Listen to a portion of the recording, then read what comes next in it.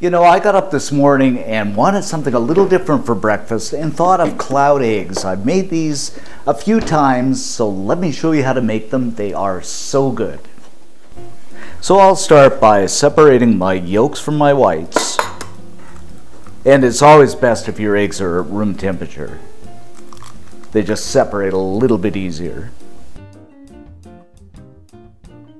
Now in separating your eggs, there are a few ways you can do it. You can do it with the handy dandy egg separator that you can pick up just about anywhere, or you can put it the, uh, in the egg in the palm of your hand and just kind of throw it back and forth and it'll dribble down through your fingers. Just make sure your, uh, your hands are clean, or you can simply crack the egg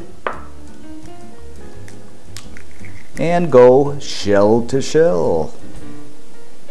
Just something like that. Of course, it's entirely up to you how you want to separate them.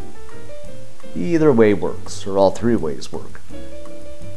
Now I'm going to add my egg whites to my mixing bowl, but before I do that, I'm just going to give it a wipe down with some lemon juice. That way it just gets any grease off it and it whips up nice and fluffy. Egg whites into the bowl. Now onto the mixer. And I'm going to mix this up until we get some stiff peaks. And I should mention too, if you don't have a stand mixer, you know, use a hand mixer or even a whisk. Just a little bit more work.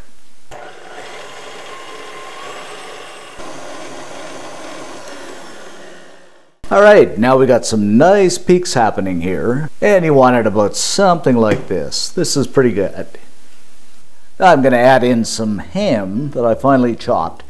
This is great for over the holidays if you got some leftover ham or something like that.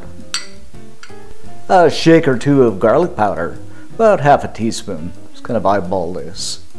A pinch or two of salt. Of course, some ground black pepper. As always, you can add the ingredients of your choice. It's entirely up to you, or none at all. It's perfectly fine like that too. Just go ahead and fold everything together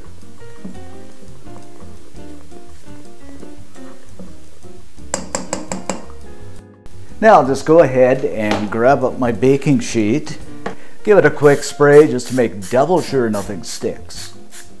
And I'm going to grab up some of my mixture onto the baking sheet.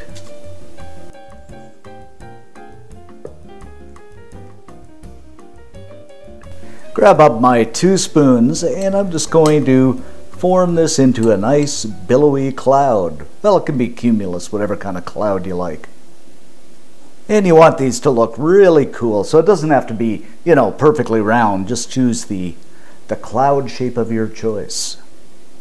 And of course, I'm going to make a nice little well in the center for the yolk to go in. Okay, these are going to go into a 400 degree Fahrenheit, 200 degrees Celsius preheated oven for about, oh, four or five minutes, just until they brown up. After about five minutes, we've begun to brown up nicely, and just look at this, guys. Doesn't, don't they look spectacular? So what I'm going to do now is carefully put the egg yolk onto the white, just something like that. Now back into the oven for about another three minutes until the yolk sets. After about three or four minutes, these are perfectly done. So I am just going to go ahead and garnish this up with some parsley. And there you have it guys, our simply delicious cloud eggs. Alright, let's dig into this and see what we have. Oh, just look at this guys. That yolk is done absolutely perfectly. Ah, I just love it.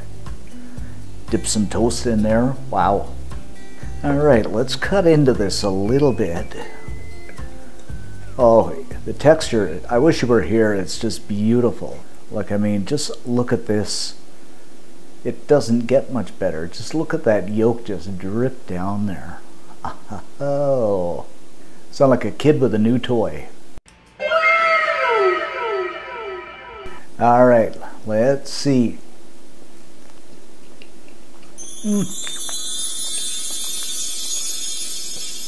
I have to say, this is the best egg I've ever had. The texture of the, um, the meringue is so fluffy It's like a cloud, literally. The yolk is done perfectly. I love the garlic. I love the ham. Could have added, added a bit of cheese, but you know, you can do that if you like. Oh my goodness. It's worth the effort to make this and doesn't take a whole lot longer than a regular egg. It is so good. Mmm. I love it. Mmm. Gotta make this. Look at this, guys. Even Coco is begging for some cloud egg. He says, Daddy, please give me cloud egg. oh, you're so cute.